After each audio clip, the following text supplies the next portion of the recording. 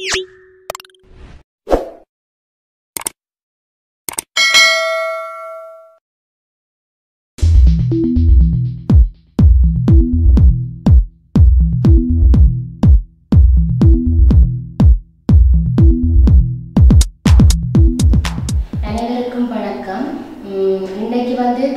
பதினொன்றுல இருந்து அழகு ஐந்துல இருந்து அஹ், செம்மையாக்கல் பதிவுகளுடனான நிதி கூற்றுகள் என்ற பாடத்துல இருந்து நாங்கள் எல்லாம் விரிவா பார்க்க போறோம்.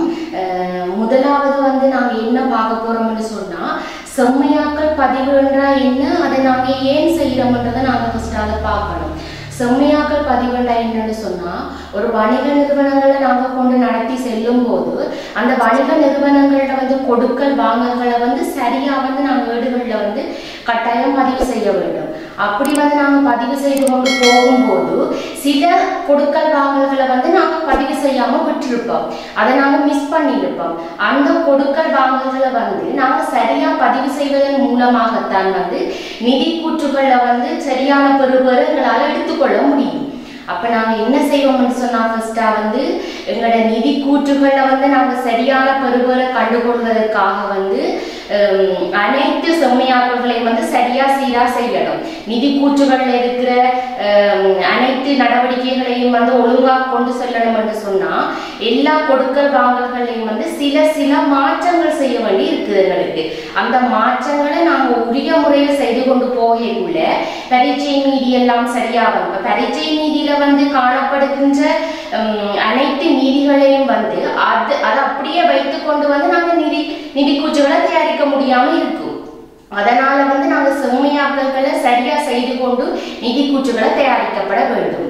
என்னன்னு சொன்னா இப்ப நிதி வணிக நிறுவனம் வந்து கொண்டு நடத்தி செல்லும் போது அது வந்து உடன் காசுக்கு ஏற்படுகின்ற அனைத்து செலவுகளும் செலவுகளும் வந்து நாங்க கொடுக்கப்படாமல் இருந்தாலும் எங்களுக்கு வர வேண்டிய வருமதிகளை நாங்க எல்லாம் பெறாம இருந்தாலும் அந்த நிதியாண்டுக்குரியதை வந்து நாங்க அதை அதை வந்து அந்த நிதியாண்டுக்குரியதை வந்து அந்த நிதியாண்டிலேயே கட்டாயம் காட்டப்பட வேண்டும் என்றதால் வந்து இந்த செம்மையாக்கம் குறிப்பிடப்படுகிறது இப்ப நாங்க வந்து நிதி கூற்றுகள்ல எப்படி செம்மையாக்கல் செய்யறன்றதை நாங்க ஃபர்ஸ்ட் பார்க்க போறோம்.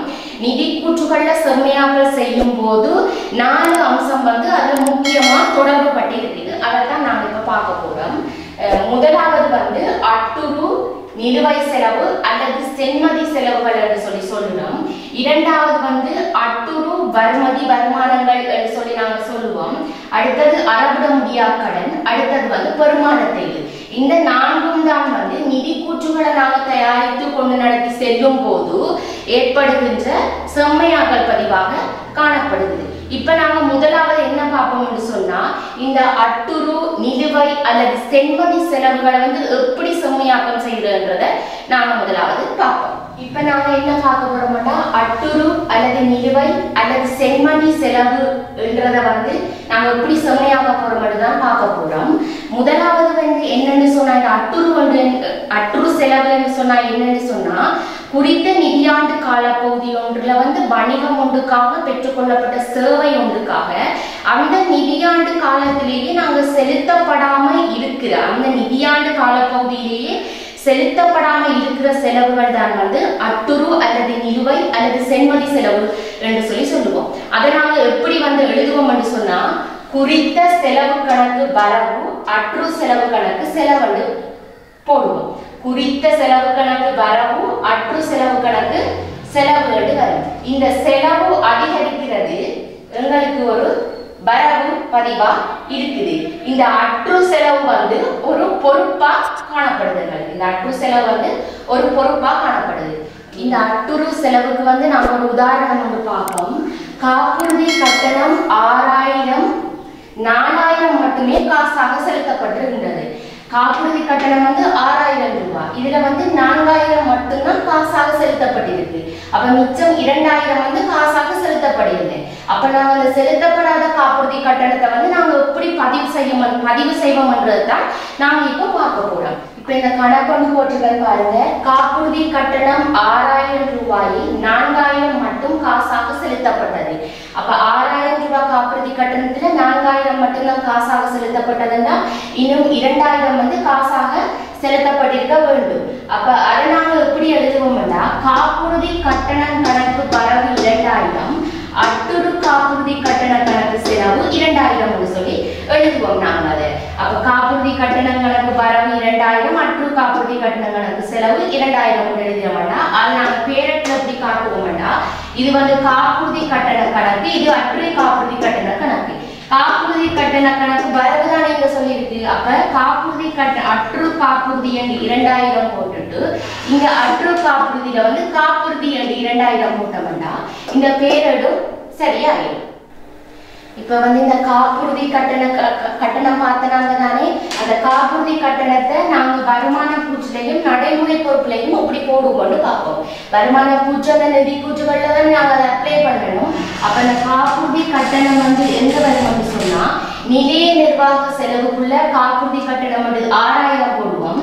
ஏன்னா அந்த நான்காயிரம் வந்து நான்காயிரம் வந்து காசாக செலுத்தப்பட்டிருந்தது இரண்டாயிரம் பற்றுவாக சேர்ந்தது. அங்க ரெண்டும் சேர்ந்து ஆறாயிரம் வந்து நாங்க இங்க போடுவோம். நடைமுறை பொறுப்புல அற்று காப்புறுதி கட்டணம்னு சொல்லி அந்த இரண்டாயிரத்தையும் நாங்க போடுவோம். அப்ப வந்து இந்த காப்புறுதி கட்டணம் வந்து எப்படி நாங்க அப்ளை பண்ணுறதுன்றத நாங்க பார்த்துட்டோம். அடுத்தது ஒரு சம்பள கொ- கொடுப்பனவை வந்து நாங்க எப்படி அப்ளை பண்ணுறதுன்றத பார்ப்போம். இன்னொரு உதாரணமா.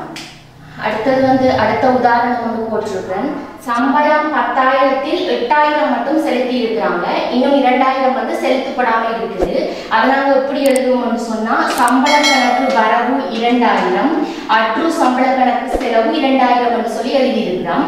இதை நாங்க பேரத்துல போட்டு காட்டினோம்னா சம்பள கணக்குல வந்து அற்றுவால வந்து சம்பளம் வந்து இரண்டாயிரமும் அற்று சம்பள கணக்குல வந்து சம்பளம் என்று சொல்லி இரண்டாயிரமும் வந்து நாங்க பேரட்டு கணக்குல போடுவோம். அடுத்தது வந்து இந்த சம்பளத்தை நாங்க வந்து எப்படி நிதி நிலைமை கூட்டில கொண்டு அப்ளை பண்றேன்டா வருமான கூற்றில வந்து நாங்க எப்படி அப்ளை பண்ணுவோம்னு சொன்னா நிதிய நிர்வாக செலவுல வந்து சம்பளம் என்று சொல்லி இந்த பத்தாயிரம் போடுவோம். இந்த எட்டாயிரமும் இந்த ரெண்டாயிரம் எட்டாயிரம் ஏற்கனவே போடப்பட்டிருக்கும்.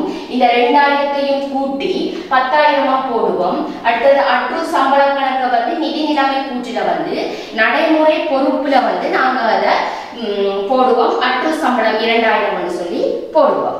அடுத்தது வந்து என்ன பார்க்கிறோம்னு சொன்னா அற்று வருமானங்கள் அல்லது வருமதி வருமானம் என்னன்னு சொல்லி பார்ப்போம்டா ஒரு நிதியாண்டு காலப்பகுதியில வந்து எங்களுக்கு வர வேண்டிய வருமானம் இருக்குது. ஒரு தொகை வந்து ஒரு வர வேண்டிய வருமானமா இருக்கு. இவ்வளவும் உங்களுக்கு வரணும் ஆனா அந்த வருமானம் வந்து எங்களுக்கு வேற வந்து கையில தந்து அது வரையில அப்படி வராம இருக்கிற வருமானம் தான். அந்த நிதியாண்டு காலப்பகுதியில வர வேண்டிய வருமானங்கள் ஏதேனும் வராமல் இருந்தா அதைத்தான் என்ன சொல்றோம்னு சொன்னா அற்று வருமானம் என்று சொல்லி சொல்றோம்.